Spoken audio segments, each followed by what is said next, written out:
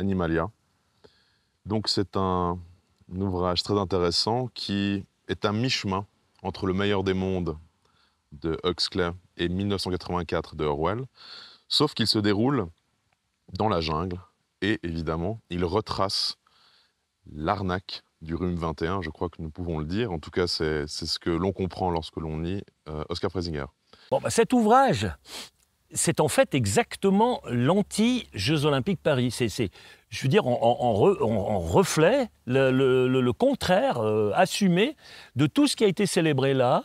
Euh, et qui est en train de, démolir notre civilisation. C'est ça qui m'a donné. La, fameuse déclaration de Joseph Borrell, si devant euh, ministre des Affaires étrangères de l'Union européenne, entre guillemets, qui avait dit le monde est une jungle et l'Occident est un jardin.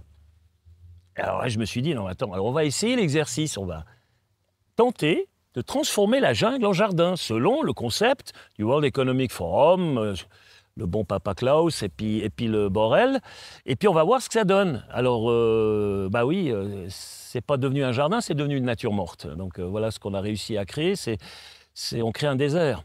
En tout cas, un désert au niveau, du, de, au niveau de la spiritualité, au niveau de, de l'âme, du monde, c'est un désert, c'est clair.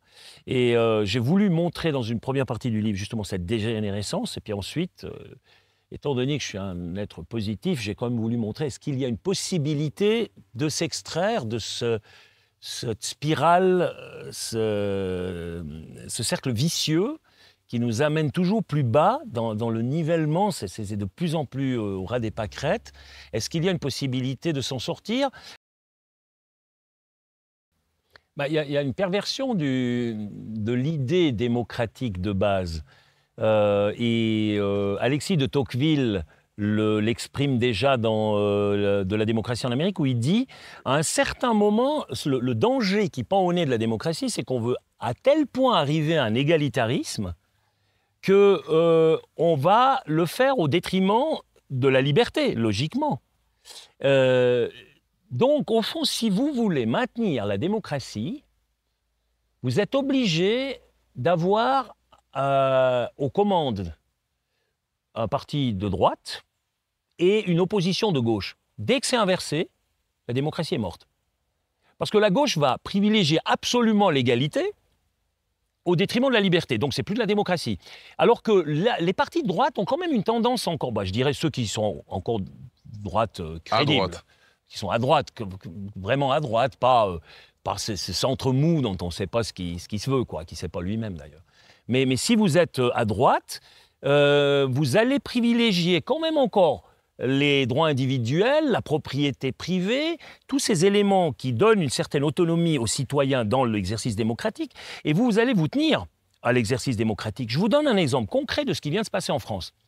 Vous avez donc la gauche qui dit si le Rassemblement national a la majorité, on va faire des manifestations et des grèves dans tout le pays, on va tout casser, ça va être la révolution et on va tout briquer. D'accord Ça a été la gauche qui a eu la majorité et le Rassemblement national est fini troisième. Est-ce qu'on a vu les gens de droite tout casser, faire une révolution, tout briquer, s'opposer aux principes démocratiques Non. Pourquoi? Parce que la gauche, en fait, sur le étendard liberté, égalité, fraternité, c'est faux. C'est égalité et puis euh, ça, pour eux, c'est la fraternité, mais c'est la liberté, c'est juste pour faire bien dans le paysage, parce que vous ne pouvez pas réaliser cet oxymore et vouloir la liberté et l'égalité en même temps, c'est pas possible. Et alors, comment on a atomisé maintenant notre démocratie? Parce qu'elle a été atomisée, et ça, euh, peut-être que euh, je ne sais pas, je ne crois pas que Alexis Tocqueville imaginait la chose allant aussi loin. C'est-à-dire qu'on est dans une subjectivité totale. On n'est plus dans le subjectif. D'ailleurs, la scène que vous avez lue, L'animal, il dit, mais c'est un ressenti d'injustice, c'est une souffrance, c'est ma subjectivité qui va me déterminer comme victime. Je me sens victime. Et donc, je vais prendre l'État en otage, et dès le moment où l'État euh, veut créer une égalité, eh ben, il va essayer de contenter L, G, B, T, Q, plus, plus, plus, pas, bon, tout ce qui suit, A, A, je sais pas tout ce qu'il y a. c'est une longue. Et puis ça va s'augmenter, cette liste, elle est, infinie. Mais ce qu'on n'a pas réalisé, c'est qu'à un certain moment, vous allez vous retrouver face à deux minorités à qui on a accordé des droits qui sont en contradiction, c'est-à-dire comme ces gars qui sont bâtis comme des hommes mais qui participent aux compétitions de femmes. Que font les féministes? Elles ne peuvent pas s'opposer parce que sinon elles sont transphobes.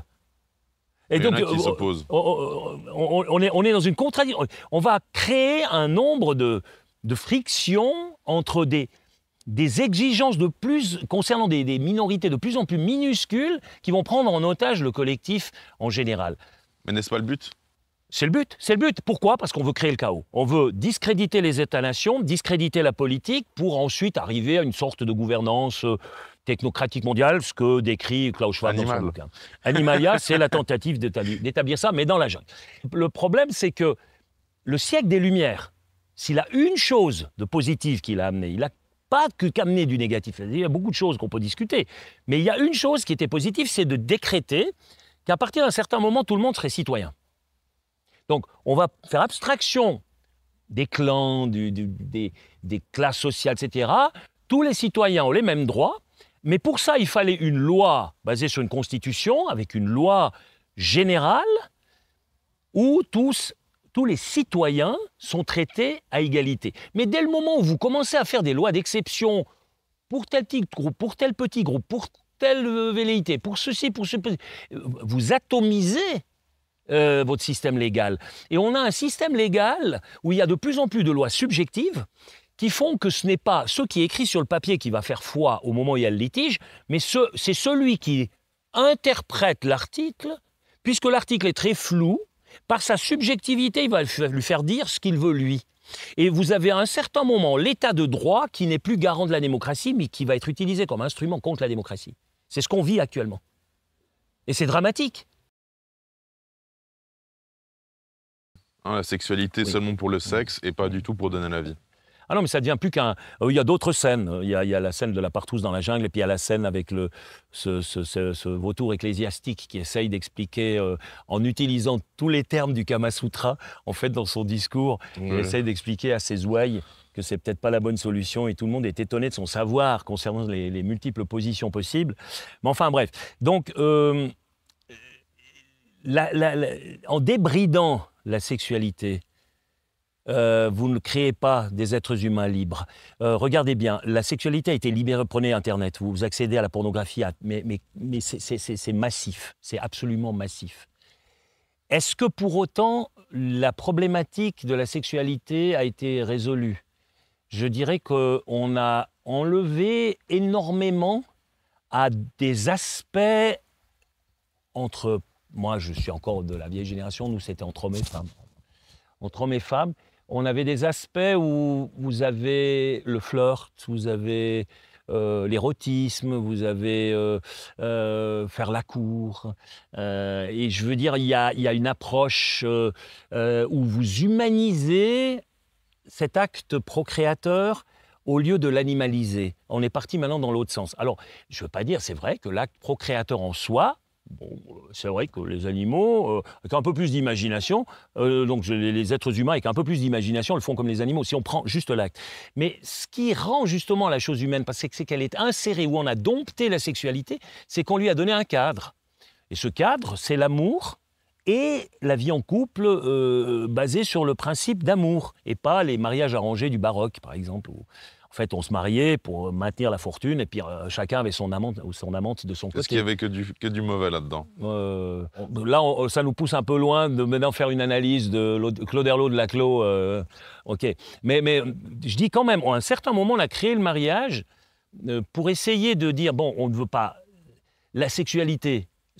C'est le principe de vie, ça, ça, crée la vie. Alors maintenant, bon, on va aller un pas plus loin, c'est qu'on va essayer de faire les gamins plus que dans les, dans les éprouvettes. Donc ça, ça nous pend au nez. D'ici 50, 100 ans, je crois que euh, les gens ne coucheront peut-être même plus ensemble et qu'on ne fera plus que dans l'éprouvette. Et puis les gens, vu qu'ils auront quand même des pulsions, eh ben, ils se libéreront de leurs pulsions grâce à Internet, à des jeux trois dimensions et tout le bordel. On a créé Gaïa. Gaïa, la planète, donc, c'est devenu une sorte de divinité. Euh, Gaïa doit être préservée, même même au prix d'une diminution drastique à quelques centaines de millions des êtres humains sur cette Terre. C'est le plan. C'est écrit noir sur blanc. Ah ouais, vous faites comment? Ben, il y a le moyen brutal, des guerres, euh, les pandémies, euh, on l'élimine par là, on trouve des moyens. Étant donné que quand même, euh, ça semble un peu trop expéditif, alors on va le faire par la stérilisation. Et tiens donc, on s'aperçoit qu'il y a eu un effet du rhume 21 sur la fécondité. C'est très très clairement perceptible. Pas seulement le rhume 21, mais d'autres éléments dans la nutrition, etc., qui provoquent que la fertilité est en train de chuter massivement. Et on va obtenir ce résultat. Et tout ça parce qu'on a divinisé Gaïa. Et c'est exactement le problème en général. On a tué Dieu. L'idée d'un absolu vers lequel on tend. Je ne lui donne même pas d'autre étiquette, parce que c'est un grand mystère. Mais enfin, un absolu vers lequel je vais, duquel je suis issu et vers lequel je tends. D'accord On a enlevé ça. Alors vers quoi je vais maintenant? Je ne sais plus tellement. Hein. Et ça, Nietzsche le dit très bien dans le Gai Savoir. Eh bien, il faut que je remplace la perte. Ah, il n'y a plus Dieu, alors je fais quoi? Bah, Il faut que l'homme devienne Dieu lui-même. Donc, moi, je crois que le but de l'être humain, et la fin du roman indique, va dans cette direction, c'est l'individu qui doit d'abord se faire une introspection. On ne peut pas sauver la planète par des masses qui commencent à, faire les fous. Hein. on a vu les révolutions, ça a toujours été des bains de sang. C'est plutôt une évolution, mais de l'être humain qui fait une introspection. Et ensuite, une fois qu'il a fait ce travail pour lui-même, il va essayer de, d'irradier, ne serait-ce que le, petit milieu autour de lui, de cette, cette essence de, de son être qui, qui, l'a permis, de, l'ange intérieur qui a déployé ses ailes, comme le dit Rilke dans ses poèmes. Et, donc, il va agir uniquement par l'exemple, par ce qu'il est. Il, ne va plus faire des grands manifestes politiques à la Trotsky, à la je ne sais quoi, euh, à la Mein Kampf, des conneries pareilles. C'est plus ça du tout c'est qu'il va agir en laissant s'exprimer un moyen de communication qui est uniquement dans le ressenti de son être.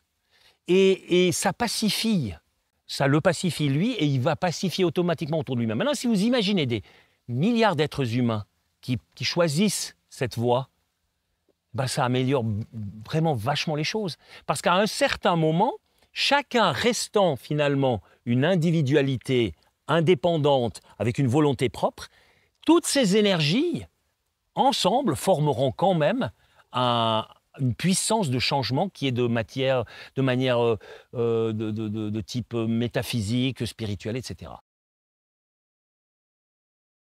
Plus une société se déchristianise, et plus elle se totalitarise. Oui, alors le christianisme, le problème qu'il a actuellement, c'est qu'il il est discrédité par, de nouveau, le même mécanisme que ce que j'ai dit pour la politique. Euh, on l'a discrédité à travers euh, les prêtres pédophiles. Mais je veux dire qu'ils ont aidé, hein, ils ont bien aidé, c'est sûr.